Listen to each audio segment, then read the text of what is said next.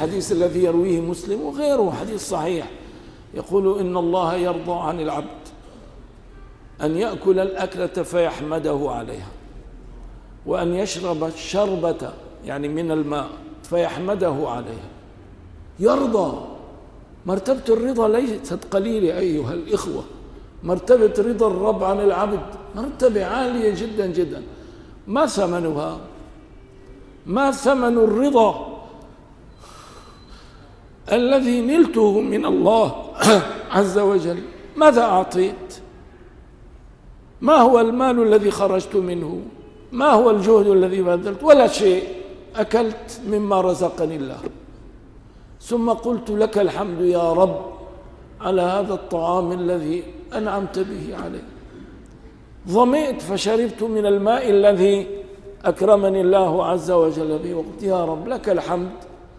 على هذه النعمة هذا الماء النمير العذب الذي أكرمتني به. إيه، هذا هذا ما فعلته. وما معنى لك الحمد؟ فسرنا الحمد الآن. الحمد والشكر معنى واحد قريبين. يعني يا ربي أنا عاجز والله بتمنى كنت يعني أطلع عن ملكي وأعطيك يا بس ما, ما أنا أنا شو أنا؟ ما بملك شيء. لذلك يا رب اقبل مني عجزي اقبل مني ضعفي. فأنا هذا هو شكري لك. هذا ما أعطيته. الباري عز وجل يرضى عني رضاء تاما بناء على هذا الموقف. كم وكم الإنسان مدين لمولاه وخالقه سبحانه وتعالى. هذا يذكرنا بكلام يقوله ابن عطاء الله في مكان آخر. من تمام نعمته عليك أن خلق فيك ونسب إليك. من تمام نعمته عليك أن خلق فيك. يعني يلهمك المجيء إلى هذا المكان. يلهمك القيام بالعبادات التي شرعها وأمرك يلهمك أن تعطي الفقير شيئا من المال مما تملك. يلهمك هذا. طيب هذا من خلق الله سبحانه وتعالى خلق فيك لكنه عز وجل هو الخالق. إلا أنه ينسب هذا الأمر إليك ويعدك يعني متقربا إلى الله بجهد وبعمل وفير ويثيبك على هذا. فالفضل كله منه وإليه. نعم. وهذا معنى قوله سبحانه من ذا الذي يقرض الله قرضا حسنا فيضاعفه له اضعافا كثيرة. من ذا الذي يقرض الله قرضا حسنا فيضاعفه له اضعافا كثيرة والله يقبض ويبسط وإليه ترجعون. كم وكم؟ يعني كادت هذه الآية أن تسكرني أن تسكرني من الحب لله عز وجل من يعني التقدير. ماذا أقول؟ من اللطف الرباني. من ذا الذي يقرض؟ الباري يجعل من نفسه مقرض مستقرض.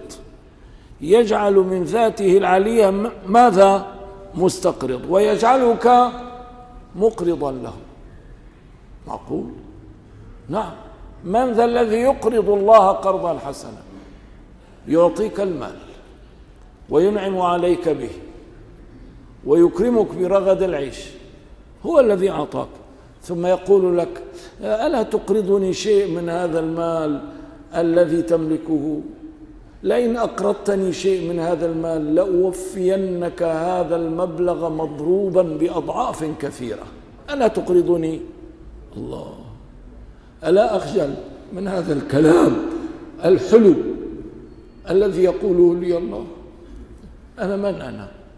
أنا ملك ربي مالي ثوبي طعامي شرابي أنفاسي الصاعدة والهابطة. كلي ملك لله عز وجل.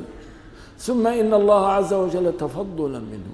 وإحسانا يقول يطعمني ويعطيني ويغنيني ويقول ألا تقرضني شيء من هذا المال الذي معك؟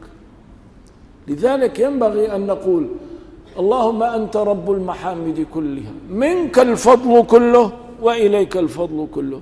أنت المتفضل علينا بما توفقنا إليه من قربات. فكيف؟ أسألك أجرا على عمل أنت المتق... أنت المتفضل به علي. المؤمن يخجل يخجل.